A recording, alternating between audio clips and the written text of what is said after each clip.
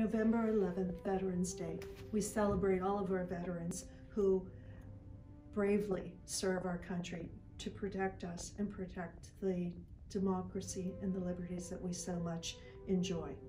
I'm going to tell you a very short story about my father. He was a veteran also. He served in World War II and he was in the Signal Corps that he landed in England and then on D-Day 3 he went into France. As a young child, I used to play with this. This is his dog tag. Didn't even know what it was, but eventually he did tell me what it was. Before he passed away in 2001, I asked him if I could have it, and he gratefully did because he always loved to tell his war stories. This dog tag, which you're all familiar with, is a symbol of your bravery, which we will never ever take for granted. Thank you for your service.